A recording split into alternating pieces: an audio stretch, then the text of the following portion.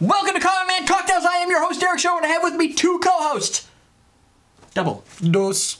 That's Curtis, and that's Jennifer. If you get them mixed up, you're doing this Shame wrong. on you. See that? I didn't have to look. Uh, Stop fingering me.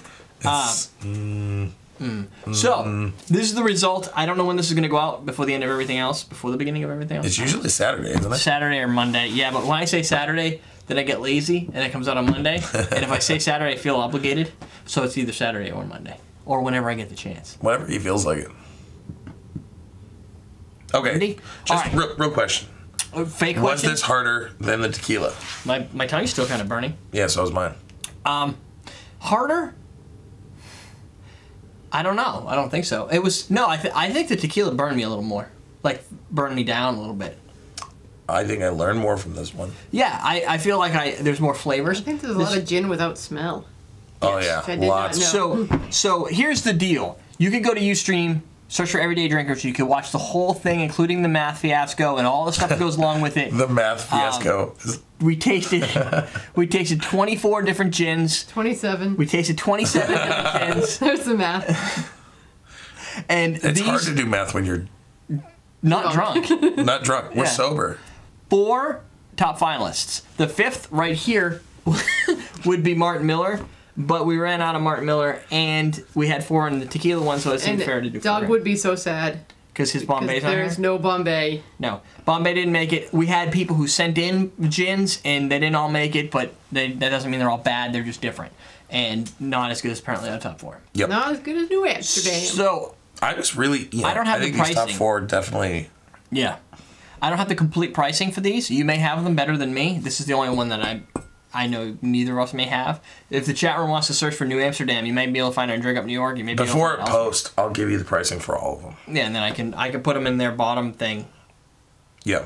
Um, but the four finalists in order of least to the number one Yeah, that's fine. is this way. This is number St. George Rye. St. George rye. I don't even know what that means. Rye, gin. So Right, it's- is gin. it gin made from rye? Yes. Is that different than everything else? Uh, Like, should it give you a different flavor different because it's got rye in there? Botanicals. You're gonna read it for me? Come on, that's not. oh, very it's a dry gin, but it's called the dry rye. Okay. Also to notice is this is dry gin.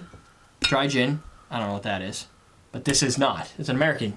So This is an um, American also. oh, American represents number one and two. You don't know where the Let me Berkshires are? I think No, Bombay did I, I don't even know what it says. Oh, Berkshire. Is that what that's? it's made in the Berkshires. I just remember it was called ethereal gin or ethereal or how do you say that? Ethereal. Ethereal. That's how I say. it. Yeah, Bombay did pretty bad. Bombay did bad. What?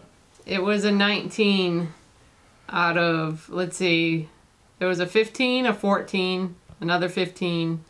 So it's in the lower end. It's in the lower end. But there were a lot of in the in the 15 in the teen range. So it's not. I mean, it, it wasn't. It didn't No, most out. of them are in the 20 Never mind. range. It was it was bad. Yeah. Um, so you got the St. George, then you got I was gonna say St. Hendrick's, Jimi Hendrix, Hendrick's gin. St. Hendrick's. I'm, o- I'm okay with that. Yeah, Yeah. these two passed this uh, tie. Tie. It's very similar to the tequila thing. We had a Yep. tie for the, that place, and then we had the New Amsterdam, which I think blew everybody's mind.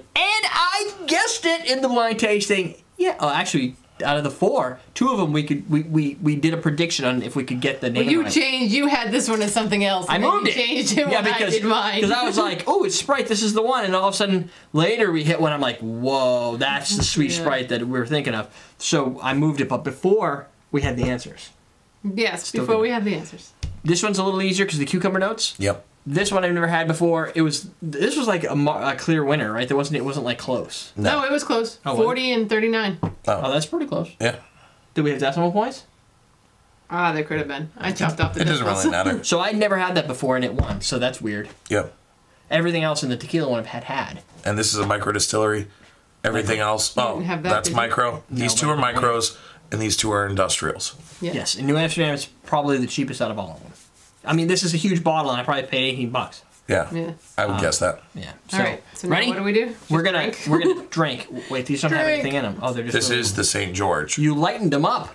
Yeah. They're very light. We Well, don't have a spit. we don't have to do the spit. Oh, we're just gonna You're drink it. drinking it. I'm gonna. I'm just gonna. I guess I have no choice. Oh, it has a smell. Uh, Oh. These all should have smells then, right? That Yeah. is gotta be that rye smell then, because this is. is the one that I had that. Now that I like know what it is, it's yeah. totally rye. Yeah. Yeah, it's that grain like that. It's it's like it reminds me of um, some vodka whiskey combo type thing.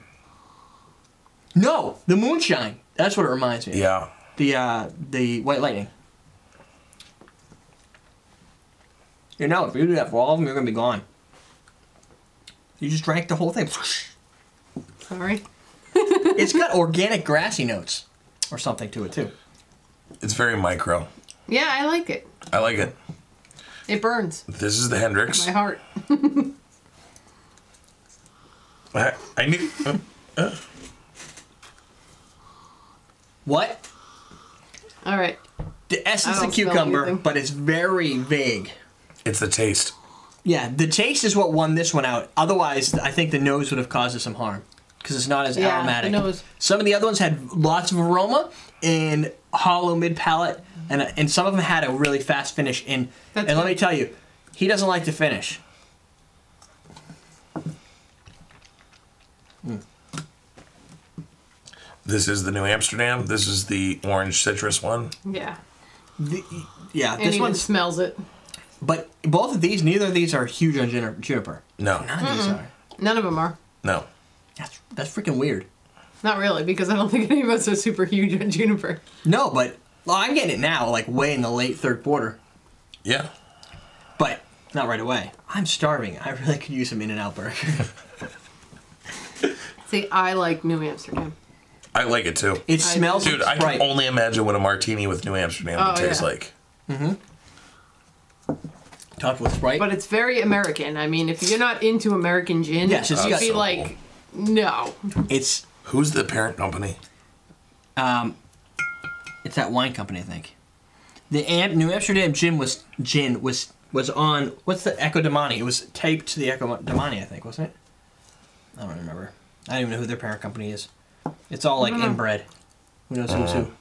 Um, but they're yeah, I think they're definitely the parent company. I thought it said Anheuser Busch, but no. Yeah, It says InBev. New Amsterdam, which is funny because isn't Amsterdam New York? New Amsterdam.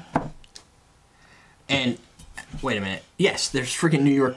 Uh, what do you call it thing? Empire State Building in the Skyline. background. yeah. And it's made in Modesto, California. so whatever. Whatever makes them happy. Yeah. Blended and bottled. This This one, one has a smell. this has the best aroma out of all of them. Yeah. Yeah, and I think that's what helped it too. It brings that aroma of juniper. Definitely. I don't know as necessarily. It, it- there were a couple in there that had very striking orange peel notes. This one has more juniper. This one kind of almost smells classic. You don't agree? Mm-hmm. Come on, Curd. This has much much more juniper taste to it too. No, I think out of all of them, this is probably the most traditional. Yeah. Out of the top four. Yeah, it's traditional, but it's not over the top. No. This has nice juniper. It has a little bit of orange back end flavor and juniper front end. Like it, it kind of goes rolls with juniper, and there's almost like this hidden orange, uh, fleshy orange under it.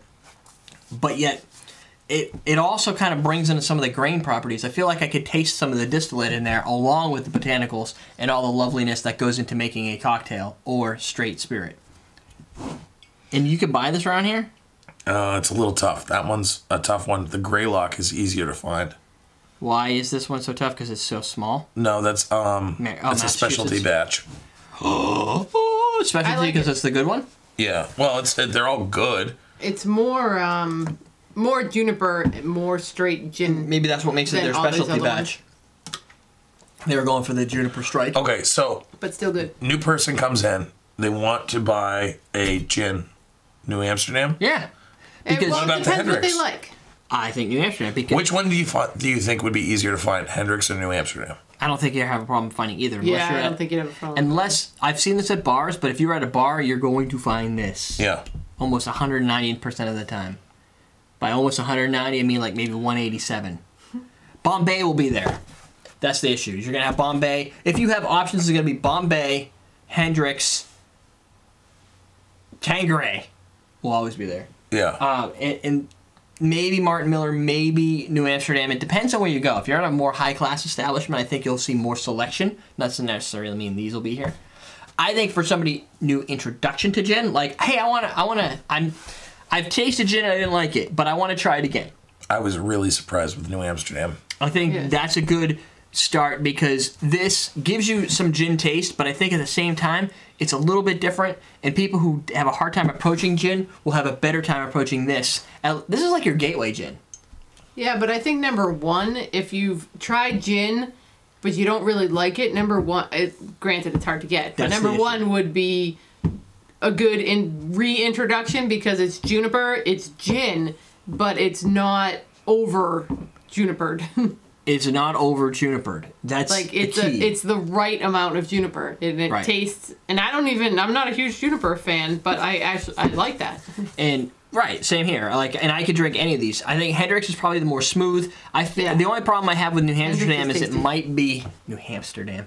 Um, it New might, hamster. yeah, I think it might be a little new age for like if if a if a cocktail if a gin enthusiast or any of those people Right. watch this video and they're like, I love gin, my favorite thing on the planet. I'd be worried recommending this to them because I feel like I they would come back and say it doesn't even taste What like about the BMD? That's this one. Yeah. Mm-hmm. That tastes like gin. No, I don't think they have a problem with that. I think Hendrick's they've already had, right? So that's that's kind of out there. So Yeah, but remember it Tales of the Cocktail that um, guy we had asked, uh, he was a gin guy, I thought, and he was pretty much dissing a lot of gins. So Yeah. we were like, oh, what about New Amsterdam? And he's like, actually, that's a really good gin. I think it's more of a sleeper gin because most people don't look at that gin and go, "Oh, that's good." First off, I cheap. I yeah, I look at it as like the the brand the the brand that just is a brand to make up some space on the shelf. Like I don't look at that and go, "Oh, that's that's one of the best ones." I don't look at it as it's like over marketed and I I kind of find like a major brand that they're just putting something out there to put it out there. But at the same time, it turns out to be a good product.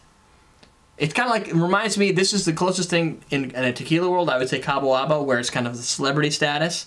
I think that's where this is going. But at the same time, it's not just hey, let's throw a celebrity here, ding, and now it's a good gin. Yeah, I think by itself, if you drink it standalone, it turns out that way. I agree. Uh, but the failsafe, always Hendrick's. It's always everywhere. Yep. I know Yeah, some it's critics that uh, that have that watch our show would say the problem with this is because of all those intense cucumber notes, it may detract for, or change the cocktail in a different way because of the cucumber. it could. It But, could, it, I, but I could look at this and go, of this is going to change the cocktail in a way Yeah, it more would. towards the orange. And that's one why I think use it. neutral, right? Like if I'm looking at a cocktail and it's sweet and it has gin in it, it's like New Amsterdam. Right. she will always pick this 150, 187 percent of the time. Yes. That's it. Top four out of. Well, picture Martin Miller here because Yeah, these two are tied. that's true. Yeah, but this is how we did it for the tequila Right, tasting. yeah. I'm happy with this. Done. Done. We're done. We did it. That is your gin tasting. Now these are the, are the ones to seek out. I, question of the day: Oh, Have you had any of these? There you go. Yeah. have you had And these which gins? one do you like? Right. Yep. And I'm gonna And you guess probably haven't had that. No, but I liked that. I thought that was really good. Google ethereal gin and start looking for it. It's it's like the cool swan of Irish creams. It's There you something you now have to look for. I, I honestly think it's on Drink Up. Really? I think so. Could be. If Sun Drink in New York, then you should go there and get it because they would pro- they're the closest to that distillery, so they would probably be the first I to think really they have it. search it, find it. I know people are our fans that go out there and they buy stuff when they need or special order at your place. If you start demanding it, I think then that will become a growing. Yeah, and Chris from Berkshire Mountain Distilling is awesome. I don't know Chris, but thank you, Chris, for changing things up. We're My teaching brain. you how to gin. Oh, how to gin! All right, Yes. I lose. Fine, I'll sit here.